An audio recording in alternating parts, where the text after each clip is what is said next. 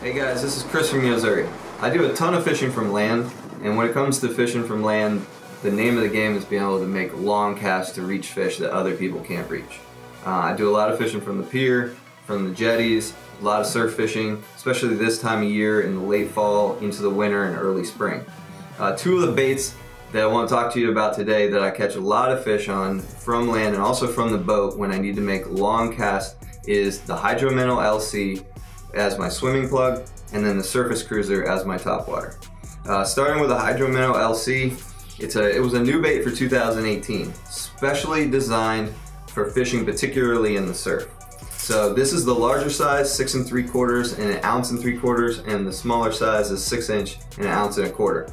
So these baits have an elongated skinny shape, they'll fly through the wind really well, they have that heavier weight, but the biggest thing is that great weight transfer system for casting. So that weight snaps to the back of the bait at the back of your cast when you're going forward and it'll fly straight through the wind. So if you're fishing a heavy surf day in that, you know, 20 mile an hour headwind, you can shoot this bait through the wind really well. It's got that small lip so it swims with a real wide wobble and it'll swim real shallow all the way back to you. So you can fish it all the way back in the whitewash or fish it above the rocks along the edge of the jetty. Um, it's a bait that I've caught snook, tarpon, um, it's great for you know species like bluefish, mackerel, and big jacks and things like that when you need a swimming plug and something you can cast a long ways to reach those fish. Great hooks, you don't need to switch anything out. One of the, my favorite all-time Yo-Zuri baits is the Yo-Zuri Surface Cruiser. So the Surface Cruiser is a pencil popper. It's got a lot of weight in the back of the bait so it casts a long ways. This is the larger size, the uh, 7 inch size, and this is the smaller size. Um, you know, ounce and a half on the smaller size, over two ounces on the larger side, so they come with a lot of weight. Real solid foam material, you can't break this bait. Uh, 4X trebles, so no issue there. How I like to fish the surface cruiser is, I'll, it depends on the species that I'm looking for. So down here in Florida this time of year, we're fishing for bluefish along the beach.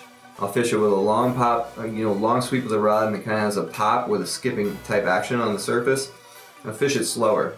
But if I find a big school of jack crevalles or something, or you know, even in the summer, if I'm fishing for bonitas or blackfins or some other kind of tuna, where they're chasing bait and really pushing bait real hard, I'll throw it way out in front of the school and basically just burn it along the surface. And it has a skipping action along the surface, like a ballyhoo um, or, or a mullet or something like that that's fleeing the bait fish. You can reel it as fast as you want. It'll skip really well and the fish will run it down. The other way to fit, that I'll fish it is it actually sits in the water like this and it'll walk. Not with a traditional side to side like you would with a pencil bait, but more with a up and down slapping action kind of side to side. It's a great action to work because you can vary the speeds, you can do it fast, you can do it slow, and it'll walk in a in a two or three foot chop because it's got the head up style of walking. Uh, great casting bait um, because of the shape and the weight in the back of the bait where you can make some really long casts and get some really great top water uh, blow-ups on this bait in particular. Um, what, how I like to fish when I'm fishing from, when I'm trying to make long casts from shore, kind of the sweet spot for me is a nine foot rod. So I fish a nine foot one piece. Um, I fish a medium sized spinning reel and I've got it filled with 40 pound test uh, Yo-Zuri Super Braid. I usually fish at 60 or 80 pound fluoro, TopKnot fluoro leader, three foot is plenty.